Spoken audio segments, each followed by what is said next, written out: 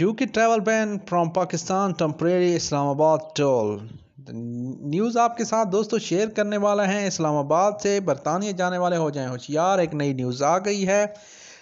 बरतानी हुकूमत ने पाकिस्तान को यकीन दहानी कराई है कि पाकिस्तान को रेड लिस्ट में शामिल करने का फैसला आर्जी है और आने वाले दिनों में इस पर बर नज़रसानी की जाएगी। बरतानिया ने गुजशत माह पाकिस्तान को रेड लिस्ट में शामिल करने का ऐलान किया था, जिसके तहत पाकिस्तानी शहरीों को पाकिस्तान से पाए जाने वाले अला कोविड नाइन्टीन मामला के हवाले देते हुए बरतानिया के सफ़र पर मुकम्मल तौर पर पाबंदी आयद कर दी थी। तहम मुस्तकिल रहाशी और आयरिश शहरी समेत बरतानवी शहरीों को पाबंदी से मुस्तना करार दे दिया गया। लेकिन इन्हें होटलों में ज़रूरी करंतीने को यकीनी बनाने और इसके लिए अदायगी करने की भी ज़रूरत है। पाकिस्तानी दफ्तर खारजा एक सेंटर सफारती जराए ने दी नेशन को बताया कि यह मामला सफारती सतह पर इस्लामाबाद में दफ्तर खारजा के ज़रिए उठाया गया और बरतानवी अकाम ने इस पर मुस्बत रद्दमल ज़ाहिर किया है। इस फैसले से पाकिस्तानी तलबा, ताजरों, मुसाफरों और वो लोग जो नौकरी के वीज़ा पर हैं, बरतानिया में पाकिस्तान के हाई कमिश्नर मौजम अहमद खान ने लंदन से फ़ोन पर दी नेशन को बताया कि इस मसले को जल्द से जल्द हल करने के लिए हम बरतानवी खारजा और दौलत मुश्तर के दफ्तर और होम ऑफ़िस के साथ मिलकर काम कर रहे हैं।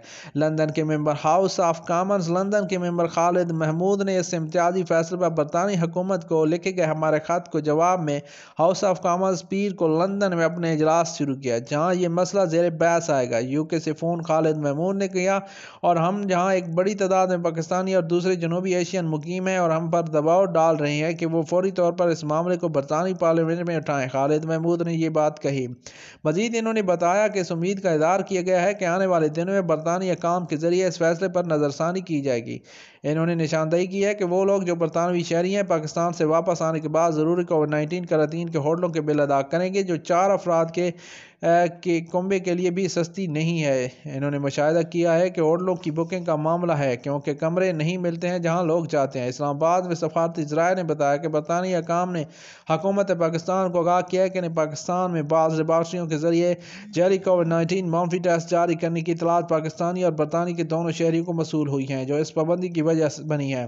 जराए का कहना है कि यह मामला पाकिस्तानी अकाम के साथ शेयर किया गया और इसकी जाँच की जा रही है और अमकान है कि पाकिस्तान में ऐसे मजदूरों के खिलाफ कार्रवाई की जाएगी। तो ये थी जनाब इस्लामाबाद से बरतानिया जाने वालों की खबर कि ये टम्परेरी बैन है, ये अनकरीब, इसको मुकम्मल जो है, ख़त्म कर दिया जाएगा। मज़ीद जो लोग वहाँ पर पहुँच रहे हैं, उनके करंतीने के खर्च वो अपनी जेब से पे कर रहे हैं। तो हुकूमत ने ये भी अंदिया किया है कि तमाम तर जो अखराज हैं, बरतानिया की गवर्नमेंट अफोर्ड करे, लेकिन अभी तक इस बारे में कोई इतलात नहीं है, जैसे ही मिलते हैं तो आपके साथ इस चैनल पर शेयर कर दी जाएँगी। तो आप इस चैनल पर रहिए, सब्सक्राइब कीजिए, लाइक कीजिए, शेयर कीजिए। थैंक्स फॉर वॉचिंग, टेक अपना ख्याल aquela